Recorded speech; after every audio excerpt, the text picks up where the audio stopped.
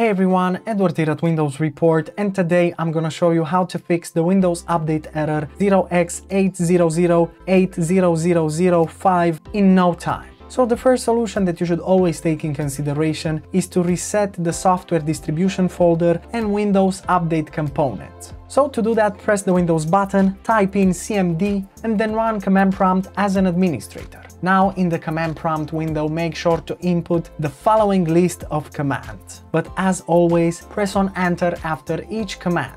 Note that this can take a bit of time because it's a pretty long process and you have quite a list of commands. Just copy paste each command from the description below, press on enter and you'll see that it will take maximum a few minutes. Afterwards restart your computer and then check if the problem still persists. Moving on, another useful solution is to restart the Windows Update Troubleshooter. To do this, press the Windows button, then select the settings icon. Afterwards, click on System on the left pane, and then on the right side, scroll down until you find the Troubleshoot category and just click on it.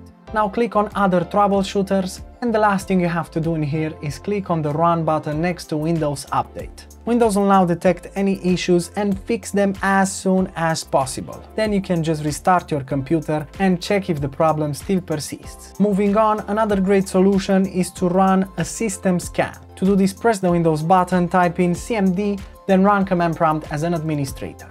From here on, copy-paste the following commands that I posted in the description below, then make sure to press enter after each command and wait until the scans are finished whereas you can restart your computer and then check if the problem still persists. And lastly, another useful solution is to restart some services. Press the Windows button, then type in services and select it as an application from the search result. So the first one that we have to tackle is the background intelligent transfer service. So right click on it, then select the restart option. Now if you want to go into properties and check if it runs automatically, make sure to head over to the startup type section, click on the drop down menu and select automatic.